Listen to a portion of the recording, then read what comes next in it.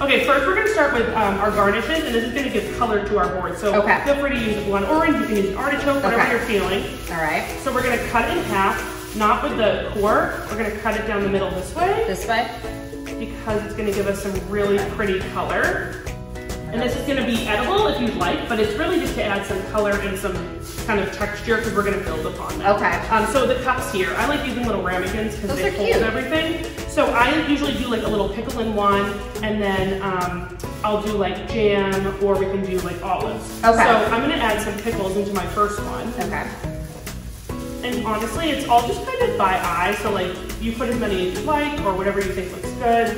That's the nice part when I do classes. Everyone's looks so different, which is super fun.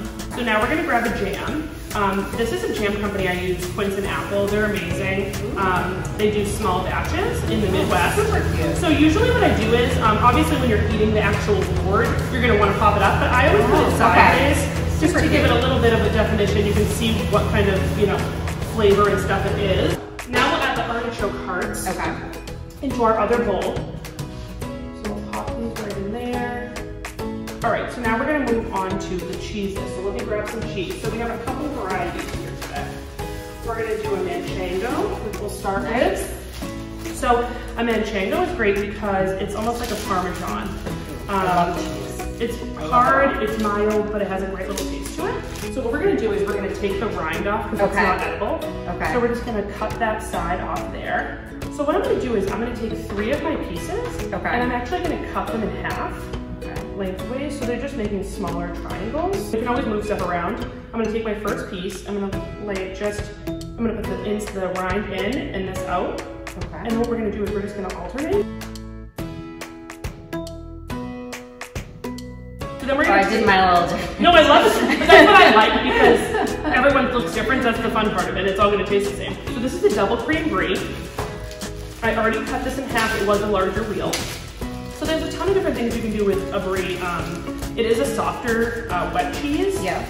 Um, so what we're gonna do is we're gonna take it in small little triangles. So like we're gonna go all the way around it and just create little cuts. So I'm gonna grab this truffle gouda. This is one of my favorites. I try to work this in on most boards. Um, black truffle to it, a nice rich flavor. So on yours, I believe, yep, I cut the rind off of that. So I'm just gonna cut my rind off. Okay. And for most cheeses, the rule of thumb is um, if you can peel the rind off, it's wax, and you don't want that. So this is an aged Havarti. It is um, six years aged. It's incredible. Um, so with block cheeses, there's a couple different methods. We can either do the pick method, which is when you put your knife into the corner and just peel. Okay. So then you're left with this kind of rustic piece, which I like better. Okay. Um, or we can go traditional Okay. and do a block. Okay. So you choose, either one works. I will probably go the traditional route. Absolutely.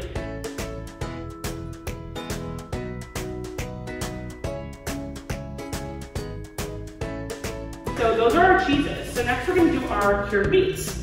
So we have capicola, no, no, no, it looks great, and a prosciutto. Oh, I love. So um, I always like to do two different styles of meat. So meaning like one round, Yep. um, or a hard um, block, Okay. or and then a prosciutto. Okay. So first with the capicola, we're gonna peel it apart. So what we're gonna do is we're gonna put the, uh, in the palm of our hand, we're gonna fold it in half, and then we're gonna fold it in half again. And then we're just gonna pinch the bottom, and then it's gonna create this like almost little floret.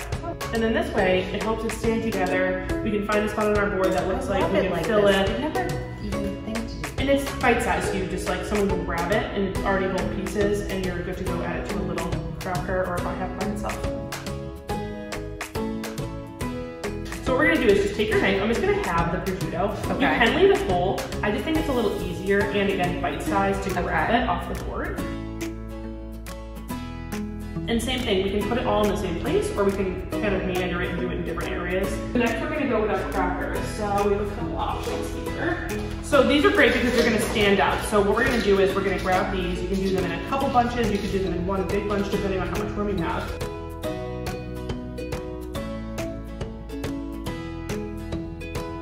This is my little eat after pile. Yeah, there has to be an after pile. It's the best part. It's coming together. I love it. Perfect. Okay, so now we've added our crackers. So now the fun part, we're gonna add nuts, we're gonna add garnish, we're gonna add fruits. Okay. So I'm gonna start with blackberries. So like I have three spots right now and I feel like that looks good. It brings the color throughout the board and then it just kind of brings it all together. Love it. It's like so springy and amazing. Okay, so now we're gonna move on to nuts. So I'm gonna start with the candied pecans. These are Okay. so good. Just classic. You can't even eat a little sweetness it. So drop these in little spaces that you feel like need to be filled. All right, so last but not least, we're gonna add some garnish. So this is like one of my favorite parts. I love greenery. I think it adds to the board and it just kind of pops everything. So we'll take it out, we'll see what we have. We have rosemary and thyme today. So I'll start with some rosemary. And you're gonna wanna just pop it on the edge or inside, anywhere you find some empty crevices. Okay. So like over here I in my manchego with my blackberry. You can also break them in half too if they're too big. I'm gonna put some over with my Gouda. It just adds the finishing touch that it needs.